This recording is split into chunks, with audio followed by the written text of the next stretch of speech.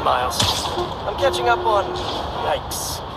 Backlog after being away for a few weeks. No rest for the Spider-Man? Nope.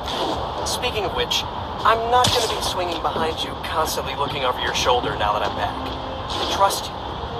And I have some stuff I should take care of. Like what? Can I help? I need To find a job.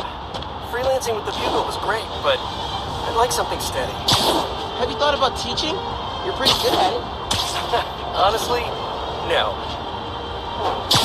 No. Maybe. I'll think about it. Call you soon.